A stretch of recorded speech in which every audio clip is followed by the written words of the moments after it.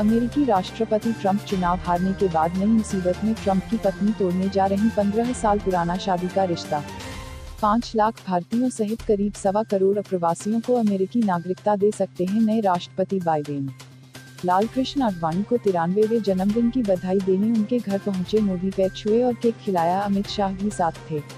RJD ने बिहार में कार्यकर्ताओं को सख्त चेतावनी भी कहा, चुनाव परिणाम कुछ भी हो, संयम और सादगी तोड़ना स्वीकार नहीं होगा।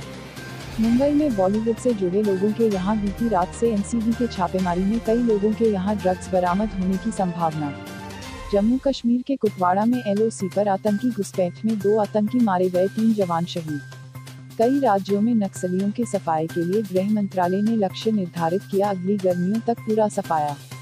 लद्दाख की वास्तविक नियंत्रण रेखा पर जारी तनाव को कम करने के लिए जल्द होगी एक और बैठक। दिल्ली की हवा खराब ए क्यू आई चार सौ के पार प्रदूषण लगातार चौथे दिन भी खतरनाक। दिल्ली में तीनों नगर निगम कर्मचारी पिछले तीन माह का वेतन न मिलने पर 9 नवंबर से हड़ताल पर।